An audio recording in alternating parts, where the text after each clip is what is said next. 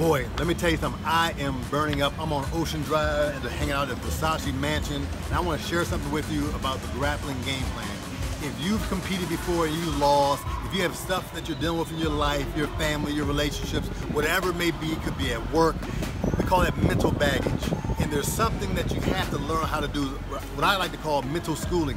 On page 61 in the grappling game plan, I teach you how to leave that back. Like you, your best friend could have lost, we're, we're going out to UFC, somebody on your team went out first and you saw them get knocked out and you have to still go out and perform the best person on your jiu-jitsu squad went out and got tapped first round, and now you have to go out and still perform and remove all his mental baggage from family, life, school, whatever it may be. I share that with you in the grappling game plan. Click the button below, get it, it's on page 61.